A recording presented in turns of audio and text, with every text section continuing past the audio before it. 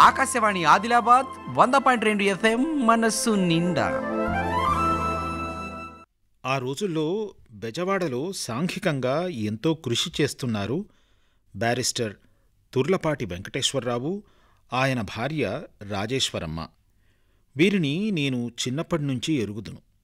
Barrister పరీక్షకు చదువుతూ ఆయన డబ్లిన్లో ఉండగా ఆమె పుట్టింట అనగా మా స్వగ్రామమైన మాధవరంలోనే రెవెన్యూ ఇన్స్పెక్టర్గా ఉన్న తండ్రి గారి ఇంట ఉండేది. వారు మా ఇంట్లోనే ఒక భాగాన కాపురం ఉండేవారు. పేరుకు రెండు కాపురాలు గాని వారు మేము ఎంతో కలసిమెలసి ఉండేవారం. ఆమె కడసారి తమ్ముడు సూర్యప్రకాశరావు మా తాతగారి బొజ్జపైన గాని నిద్రపోయేవాడు కాదు నేను మూడు పూటలు రాజేశ్వరమ్మతో కబుర్లు చెబుతూ వారి ఇంటనే అన్నం తినేవాడను. అస్తమానం ఆమెతో ఈ మాట ఆ మాట మాట్లాడుతూ ఉండేవాడను. నాకు పదేళ్ళ వయస్సు. ఆమెకు పద్దెనిమిదేళ్ళకు లోపు. అయినా దూరదేశాన ఉన్న తన భర్త తనకు వ్రాస్తున్న ఉత్తరాలలో విశేషాలు నాకు చదివి వినిపించేది ఆమె. భర్త స్వదేశానికి వచ్చాక తామిద్దరూ కలిసి చేయదలిచిన సంఘసేవను గురించి ఎంతో ఉత్సాహంతో చెబుతూ ఉండేది ఆమె నాతో. వారు అనుకున్నట్టుగానే బెజవాడలో ఆయన ప్రాక్టీస్ పెట్టినాక వారిద్దరూ కలిసి ఆదర్శరీతిని సంఘసేవ చేయనారంభించారు. అన్ని విధాలా ఉత్తమ గృహస్థులనే పేరు తెచ్చుకున్నారు. వేసే విస్తరి తీసే విస్తరి సదా వారింట. అన్నీ ఎంతో చక్కగా అమరి ఉండేవి వారింటిలో. కచ్చేరి సావడిలో బ్యారిస్టర్ గారు కోర్టు విషయాలు చూస్తూ పురజనుల లైబ్రరీ విషయాల గురించి శ్రమపడుతూ ఉండగా లోపల ఇంటి పనులన్నీ చూస్తూ రాజేశ్వరమ్మ మహిళా సభ విషయాలు హరిజన బాలికా శరణాలయ విషయాలు ఇంకా ఏవో ఏవో సంఘసేవ సంబంధమైన అత్యవసరమైన విషయాలు చూస్తూ ఉండేవారు. గవర్నర్ అయినా సరే కాంగ్రెస్ అధ్యక్షులైనా సరే బెజవాడ వస్తే తుర్లపాటి వారికి తెలియందే ఏ విషయమూ జరగదు. కలెక్టరు వీరి సలహా సహాయం పొందేవారు. ఆ ఊళ్ళో ఆ రోజుల్లో సాంఘికంగా కానీ రాజకీయంగా కానీ ఆధ్యాత్మికంగా కానీ పారమార్థికంగా గాని ఏ ఉద్యమం తలెత్తినా అది ఆ దంపతులిద్దరి సంపూర్ణమైన తోడ్పాటుతో జరగవలసిందే. అటువంటి వారి ఇంట ప్రవేశించాను నేను. ఢిల్లీ నుంచి బెజవాడ వచ్చి రావడంతోనే వారిని నేను కలుసుకొని ఎన్నో ఏళ్ళైనది కాని ఇన్నాళ్ళు అడుగడుగునకు వారు నన్ను గురించి నాన్నగారిని అడిగి తెలుసుకుంటూనే ఉన్నారు. ఇప్పుడు ముఖాముఖి నా సంగతంతా తెలుసుకున్నారు. ఢిల్లీలో ఉన్న మా అక్కగారిని గురించి బెంగుళూరులో ఉన్న మా చెల్లెల్ని గురించి మరీ మరీ అడిగారు. నన్ను వారింట్లో ఉండిపోమన్నారు. నివాసం వేరైనా ఎల్లప్పుడూ వారింటనే మసలుతూ ఉండేవాడని నేను. కలెక్టర్ గారి అమ్మాయి పుట్టినరోజు ఇవాళ ఆ పిల్లకు ఏమి కానుకిస్తే బావుంటుంది చెప్పబూ?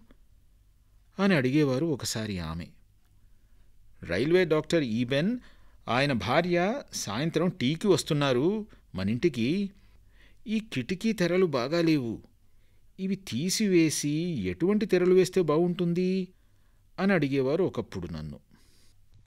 నాగపూర్లో జరుగుతున్న అఖిల భారత మహిళా సభలో ఆంధ్రదేశపు మహిళా సంఘాల తరపున నేను మాట్లాడాలి. నాకు తోచిన మాటలు రాశాను. ఈ ఉపన్యాసం సరిచూసి పెట్టవా? అనేవారు ఒకప్పుడు రాజేశ్వరమ్మ గారు. అన్ని విషయాల్లోనూ సమర్థత అలవర్చుకోవాలని ఉండేదామెకు. గొప్ప కార్యనిర్వాహకురాలామె. సహచరులలో విపరీతమైన కార్యదీక్ష ఆవహింపజేసేవారు. ఆమె నిరంతర కృషి వల్లనే బెజవాడలో చక్కని భవనంతో గొప్ప మహిళా సమాజము వెలసి బాలికలకు స్త్రీలకు ఉన్నత విద్య అభ్యసించడానికి అద్భుతమైన అవకాశం కలిగినది.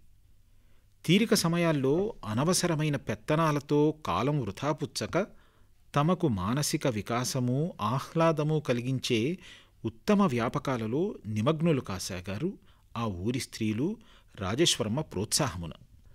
ఆమె ధన్యజీవి. కీర్తిశేషురాలైన ఆమె సేవను ఎన్నటికినీ మరువరాదు. ఆ ఊరివారు ఆంధ్ర వనితాలోకము. నేను ప్రతిరోజు టెన్నిస్ ఆడటానికి విధిగా జిమ్ఖానా క్లబ్కు వెళ్తూ ఉండేవాడను. బెంగుళూరులో అలవాటైన టెన్నిస్ ఆటలో తిరిగి నిమగ్నుడనైనాను. క్లబ్లో డాక్టర్ చాగంటి సూర్యనారాయణ పాటిబండ్ల అప్పారావు ఆయన సోదరులు సుందరరావు శివరామకృష్ణ ఇటువంటి వారి పరిచయం కలిగింది. వీరికి సాహిత్య విషయాల్లోనూ ఎంతో అభిరుచి. అంచేత మా పరిచయం క్లబ్లో తటస్థమయ్యే ముఖ పరిచయం మాత్రమే గాక క్రమేణా స్నేహంగా పరిణమించింది. వీరితో కూడా మరో లాయరు క్లబ్లో కనిపిస్తూ ఉండేవారు. ఆయన లాయర్ అయినా దుస్తులు కోర ఖాదీ దుస్తులు. ముఖాన ఇంత కుంకుమ బొట్టు. పళ్ళు కాస్త ఎత్తు. నవ్వు ముఖము మనిషిలోనూ మాట తీరులోనూ సౌజన్యం వెల్లువారుతూ ఉండేది. ఎప్పుడూ నవ్వుతూ ఉండేవారాయన. అందరితోనూ అతి చనువుగా మాట్లాడేవారు. ఎక్కువగా సాహిత్య విషయమయ్యే ప్రసంగిస్తూ ఉండేవారు.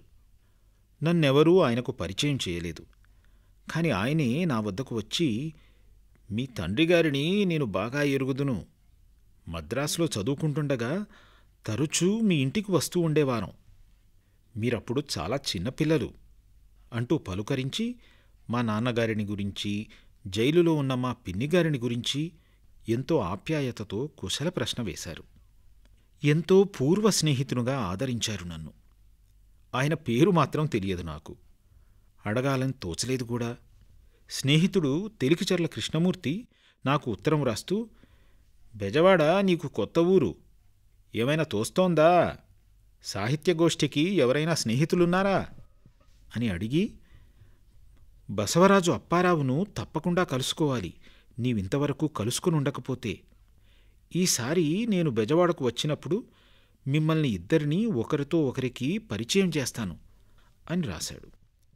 బసవరాజు అప్పారావును నేనింకా కలుసుకోలేదు. ఆయనను నాకు పరిచయం చేయడానికైనా నీవు వెంటనే బెజవాడ రావాలి అని వ్రాశాను. కృష్ణమూర్తి వచ్చాడు. వచ్చి రావడంతోనే నా టూ సీటర్ కారులో ఎక్కి బసవరాజు అప్పారావు ఇంటికి వెళ్ళాం. తలుపు తట్టగానే ఆయన భార్య కవయత్రి రాజ్యలక్ష్మమ్మ తలుపు తీశారు. పనస తొనలు నిండిన వెండి పళ్ళెం చేతపుచ్చుకొని క్లబ్లో నేను రోజూ చూస్తున్న కుంకుమ భొట్టు సౌజన్యమూర్తి నన్ను లోనికి ఆహ్వానించారు. సహజమైన చిరునవ్వుతో మేము ఒకరినొకరు ఇంత ఆప్యాయతతో పలుకరించుకోవడం చూచి ఆశ్చర్యపడుతూ కృష్ణమూర్తి అడిగాడు ఇదేమిటి? నీవు అప్పారావును కలుసుకోలేదన్నావు కదా? అని. వీరిని రోజు క్లబ్లో కలుసుకుంటూనే ఉంటాను. కానీ ఈయనే బసవరాజ్ అప్పారావని నాకు తెలియదు. ఈ నిమిషం వరకు అన్నాను నేను. అందరము నవ్వుకున్నాం. నాకు పనసపండు చాలా ఇష్టం. రాజ్యలక్ష్మమ్మ సౌదామిని దయతో అమర్చిన ఫలహారం పూర్తయినాక అప్పారావును కారులో ఎక్కించుకొని ఏలూరు రోడ్డు వైపు షికారు తీసుకువెళ్ళాం. అక్కడ కాలువ గట్టున కారాపి నీటి అంచుకు వెళ్ళి కూర్చున్నాం. నా తరఫున కృష్ణమూర్తి కోరగా అప్పారావు తన గేయాలు కొన్ని పాడారు. గొంతెత్తి. ఎంతో మనఃపూర్తిగా. కొంతసేపయ్యాక నాకు మరీ ఇష్టమైన పాట వారి చేత పాడించుకున్నాను. ఒంటిగా నుయ్యాల లూగితివా నా ముద్దు కృష్ణ. జంటగా నను పిల్వదగదోయి. కంటికంతా జలమయంబై. మింటి వరకును ఏకరాశై. జంట దొరుకని మహాప్రళయపు టింటిలో వటపత్రడోలిక నుంటిగా ఉయ్యాల లూగితివా నా ముద్దు కృష్ణ జంటగా నను పిల్వదగదోయి. జగములన్నియు కాలయోనిని ముగములెరుగక నిద్రబోవగ నగుముగముగల ముద్దుబాలుడవగుచు జోలల బాడుకుంటూ ఒంటిగా నుయ్యాలలూగితివా నా ముద్దు కృష్ణ. జంటగా నను పిల్వదగదోయి? రూపకల్పన విషయంలోనూ భావస్ఫురణ విషయంలోనూ ఈ రచన ఆధునిక ఆంధ్ర సాహిత్యంలో మహోన్నత పదవిని అలంకరించి చిరస్థాయిగా ఉండిపోతుంది. ఆ సాయంత్రం ఆకాశాన మొదటి నక్షత్రం మిణుకు మిణుకుమంటూ ఉండగా గొంతెత్తి గానం చేసిన ఆయన అమరకవియే. నా తన్మయతను గుర్తించి తనే ఇంకో గేయమున్నూ పాడారు. అనుకంపంతో హృదయం నిండిపోయే ఆర్ద్రతతో. లేపనైనా లేపలేదే మోము చూపనైనా చూపలేదే కోపకారణమేమో ఏ పాపమెరుగనే లేపనైనా లేపలేదే. హృదయ తల్పము పైన సొదమరచి హాయిగా నిదురదోగే నన్ను వదలిపోయే వేళ లేపనైనా లేపలేదే. మాధవీలతకింక మంటి కౌగిలియేన మాపటింతల నింట దీపమిక వెలిగేన లేపనైనా లేపలేదే. ద్వారమా నాథుడేదారిబడిబోయేనే కన్నిబాబా నీకు కలలైన రాలేద లేపనైనా లేపలేదే మోము చూపనైనా చూపలేదే. మహాకవి కీట్స్ ఇంకా కొన్నేళ్ళు ఉండుంటే ఎటువంటి గొప్ప కవిత అవతరించేదో అనడం పరిపాటి. బసవరాజు అప్పారాయ కవి కొన్నేళ్ళు మనతో ఉండడానికి మనం నోచుకొని ఉంటే ఇటువంటి అందమైన నగలు ఎన్ని తొడుక్కునేదో మన తెనుగు తల్లి. ఒకచో నేలను బవ్వళించు ఒకచో నొప్పారు భూసెజ్జపై ఒకచో శాకములారగించునొకచో సుతృష్ట శాల్యోదనంబొకచో బొంత ధరించు ఒక్కొక్కతరిన్ యోగ్యాంబర శ్రేణి లెక్కకురానీయడు కార్యసాధకుడు దుఃఖంబున్ సుఖంబున్మదిన్. భర్తృహరికి ఏనుగు లక్ష్మణ కవి అనువాదం. భర్తృహరి ఈ మాటలు ఇన్సూరెన్స్ ఏజెంట్లకు చాలా చక్కగా వర్తిస్తాయి. భర్తృహరి వివరించిన ఈ గుణాలకు తోడుగా అపరిమితమైన ఓర్పు ఎంతో మాట నేర్పరితనము అవసరం. ఈ సంస్థల పేరే చావు కంపెనీలు. అయితే ఇన్సూరెన్స్ పద్ధతి సదుపాయాలను గురించి వివరిస్తూ ఆ మాట ఎత్తడానికి వీల్లేదు. అశుభము. ఏ చీకు చింత లేక పండు వంటి సంసారంతో జీవయాత్ర సాగిస్తున్న ఒక గృహస్థి ఇంటిలో అడుగుబెడుతూ అతని వల్ల అతిథి సత్కారాలు పొందుతూ మనం అనుకోని ఏదో అనివార్య పరిస్థితి ఏర్పడినప్పుడు మన కుటుంబానికి రక్షణగా అంటూ ప్రస్తావన మొదలుపెట్టడానికి ఎంతో ధైర్యం కావాలి. ఇది వారి శ్రేయస్సుకే కావచ్చు. అవసరమైన ఖర్చులు ఎన్నో ఉంటాయి. వానిలో ఏదో ఒక ఖర్చు తగ్గించుకొని ఈ పైకం మనది కాదనుకొని సాలీనానో ఆరు నెలలకు ఒకసారో ఇంత ప్రీమియం చెల్లిస్తుంటే అనుకోని పరిస్థితిలో కుటుంబాన్ని ఆదుకుంటుంది పెద్ద మొత్తం. లేదా అంతా సవ్యంగా నడిస్తే మనమే తీసుకోవచ్చు అన్ని వేల రూపాయలు అంటూ నచ్చజెప్పాలి ఇది చాలా కష్టం. మనవారు కార్యరూపంలో ఎలా ఉన్నా మాటల్లో మాత్రం గొప్ప తత్వవేత్తలు. అన్నిటికీ ఆ పరమాత్ముడే ఉన్నాడు. మొక్క నాటినవాడు నీరు పోయాడా? దైవయత్నమే గాని పురుషయత్నం ఎందుకు పనికొస్తుంది? అనేస్తారు అవలీలగా. ఈ మాటలకు ప్రతిగా వారితో మనం వాదిస్తున్నాము అనే భావం వారికి కలగకుండా ఏవేవో చెప్పి వారిని ఒప్పించాలి. ఇందుకు ఎంతో చాకచక్యం కావాలి. ఆకాశవాణి ఆదిలాబాద్ వంద పాయింట్ రెండు ఎఫ్ఎం మనస్సు నిండా.